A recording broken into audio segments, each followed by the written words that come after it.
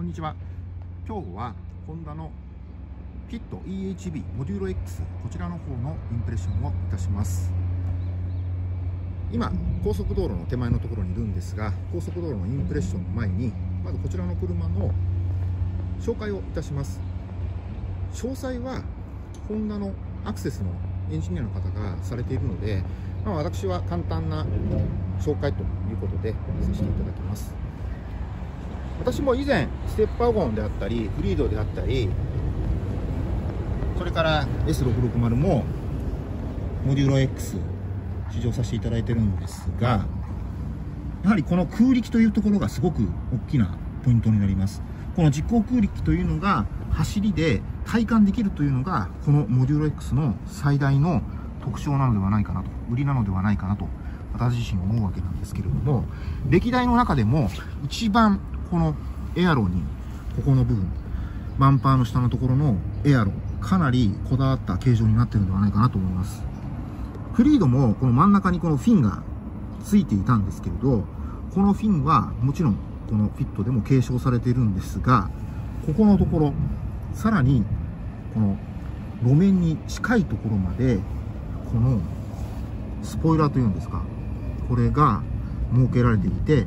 さらに整流効果を高める後ろまでしっかりと綺麗に流速を上げていくようなそういった形状になっているということが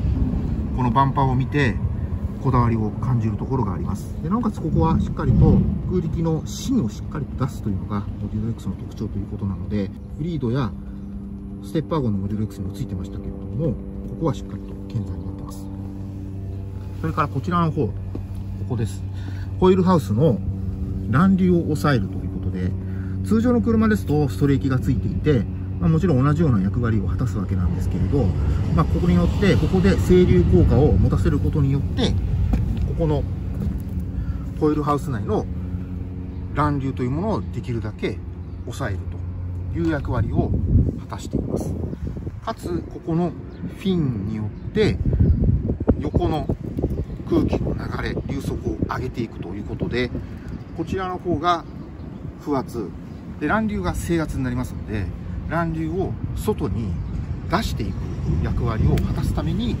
このフィンというのが設けられています。この形状はフリードのモデューロ X でも採用されている形状ですけれどもやはり横の風というものをしっかりと流速を上げていくなおかつ味方につけていくというところは継承されているのかなと見て取れるところかと思います。ホイール自体はかなりこだわっていてもう私も初めてこの車見たんですけどものすごい軽そうなホイールだなと。で純正比30%軽量化なんですけれどもそれ以上の軽さを持ってるような非常に軽く見えるホイールになっています。でこれはホイールのリムの部分。こっちじゃなくて奥の方なんですが肉厚を最適化させて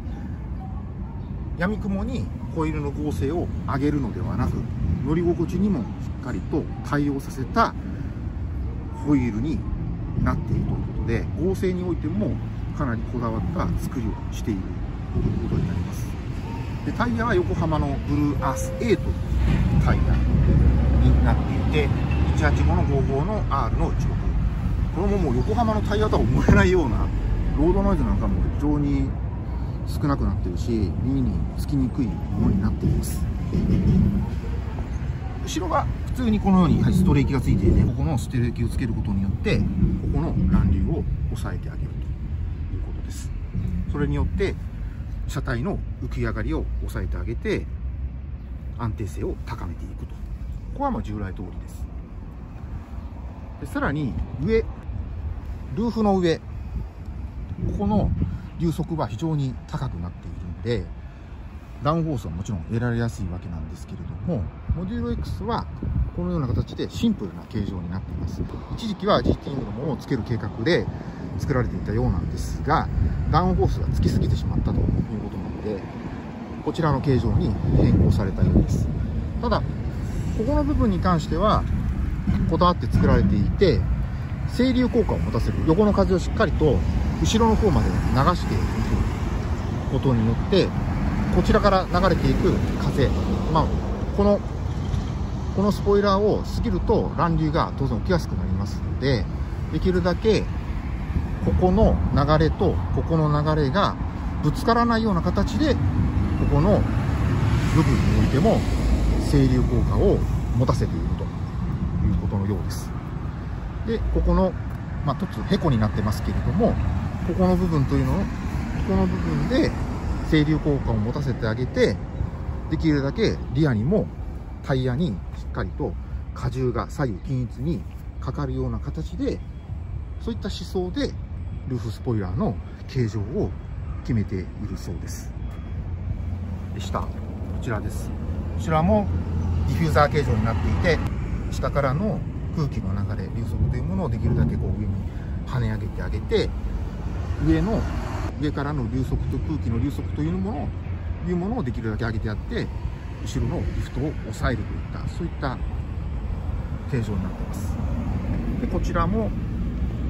ここの部分かなりこだわったようなんですがここの部分においても横からの空気の流れというものをできるだけ車両の真後ろではなくて後ろから離したところでできるだけ乱流を起こさせないような形でここの造形というものをいうことのようです。はい。なのでかなり空力的にもこだわった形状になっている。でこのエアロダイナミクスというのはやはりホンダのホンダもずっとレース活動やってて F1 やってたり GT やってたりするわけなんですけれどもそういったノウハウもしっかりと詰まっている。技術が詰まっている。それがこのフィットのモデューロ X で体感できる。実行空力ということで体感できるという。もうそれだけでも非常に価値のある1台で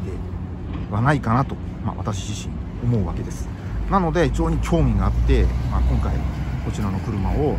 まあ、インプレッションということでまずは高速道路で試乗をさせていただこうということでこの車をお借りしています。はい。ということでまずはこちらのフィット EHV モデュール X の車の紹介を簡単にいたしました。引き続き高速道路でのインプレッションをいたします。